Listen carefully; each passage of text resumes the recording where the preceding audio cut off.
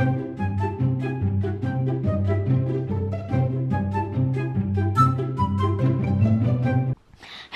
guys, this is Mr. Shroom coming back at you with a new video and today we're going to be reviewing the fire ant.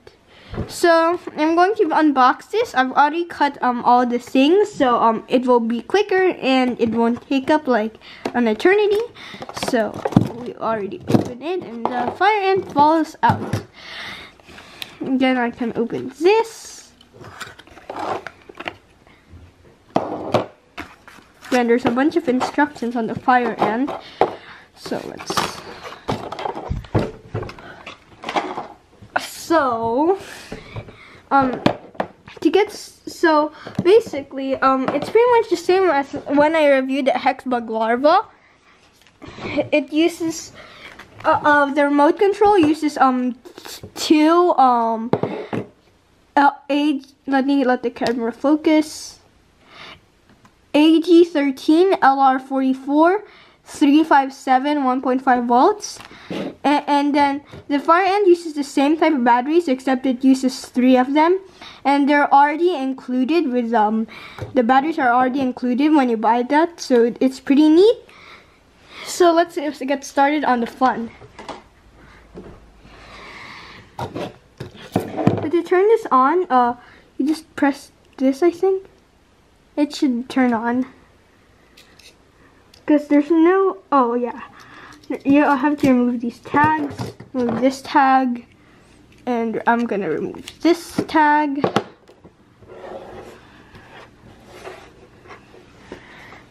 Do okay. Oops. So I'm gonna power this up. So as you can see, it's glowing red now, which is pretty cool. So as you can see, the fire is real. So detects um, infrared light through here. The remote works through infrared, which is a reoccurring theme in Hexbugs. But let's get started. As you can see, this is like crazy fast. And to turn, just press on one. Yeah. So it's super fast like that. Ah! Um, so as you can see, it, it was so fast that it drove off my table. So, I'm afraid of driving it straight because it's so fast. So, it's like insanely fast. So we can also compare um, its body structure to um, the hexbug ant. So if we turn it on, as you can see, um, it does not uh, have any like light that's going on, probably because it has no fire. And um, if we compare the frame, as you can see, it's a bit modified. It's much more angular on the fire ant whereas on the original ant it is much more streamlined. It's the same deal for the wheels. Uh, yeah. And as you can notice, this two also have the same antennae, except for the fire ant, they don't have these coils because they don't really do anything. They're just for aesthetics. Uh, um, and as you can see, it has like a back sensor here. Here there's no back sensor because it's remote controlled, of course. It's your brain, not the ant's brain. Uh, so yeah, and you turn it on using this, which is pretty unusual. Normally you turn it on using this and stuff. So uh, yeah. So I'm not sure how I get to channel 2, so let me press it again. So, yeah, I'm not sure. I'm not completely sure.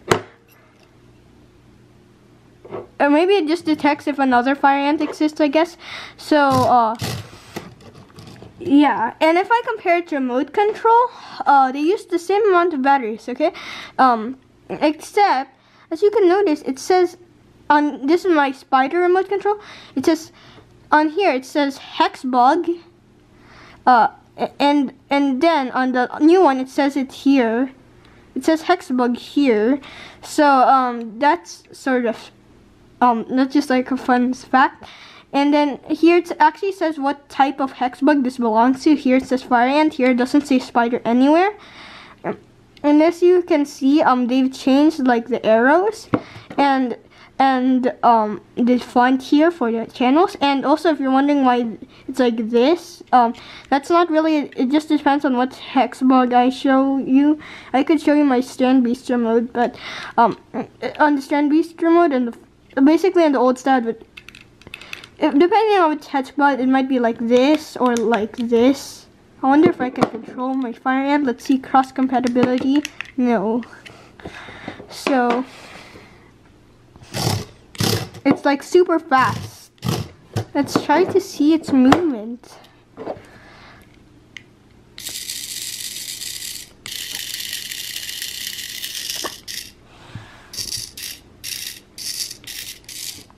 You can sort of make music with this thing as well. And I think this is really cool, the light. Oh yeah, so let's zoom in. zoom in. It's, hold on. So we're zooming in. So as you can see, you can see this thing up close as it traverses the terrain.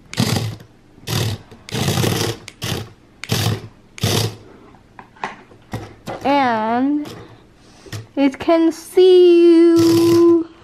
That's not what I was going for. See you. So yeah, let's get a close-up of the light. And also another difference between the fire ant and the ant is that um, as you can see, I got a blue blue ant, but um, the circuit board, if you look closely, that's green. It's actually a green circuit board.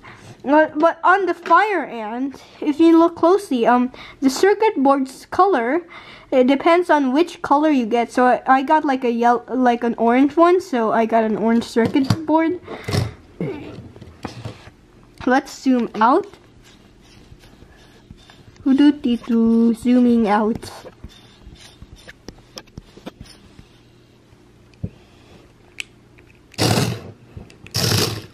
So like it's really scary actually.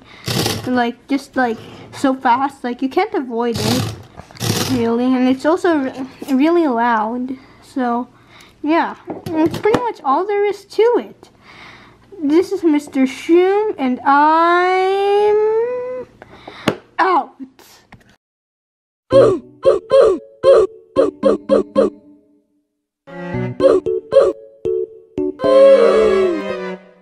Boo! Boo! Boo!